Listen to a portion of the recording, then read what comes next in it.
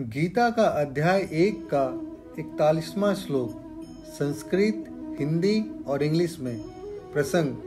इस प्रकार जब समस्त कुल में पाप फैल जाता है, तब क्या होता है? अर्जुन अब उसे बतलाते हैं।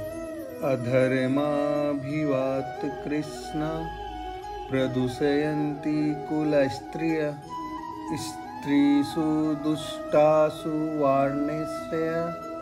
जायते वन शंकरा।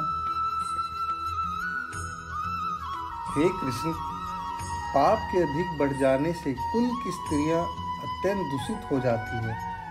और हे वार्षणेय स्त्रियों के दूषित हो जाने पर वन संकर उत्पन्न होता है।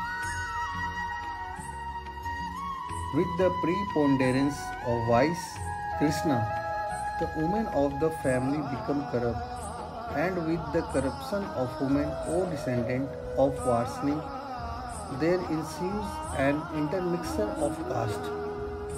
गीता के इस श्लोक को सुनने के लिए मेरे साथ बने रहें और इस चैनल को सब्सक्राइब लाइक और शेयर करें और मेरी तरफ़ से आप सभी को जय श्री राधा कृष्णा